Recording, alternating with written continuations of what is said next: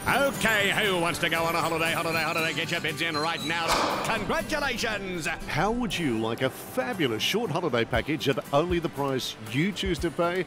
Welcome to the travel auction. Here's how it works I give you the details of a short holiday package, then invite you to call the travel auction hotline and register your bid. The top 50 bidders will be successful. You've got a year to travel. And our package to the Gippsland Lakes includes three nights in a waterfront holiday unit at the Jetty Road Retreat, Nungurner.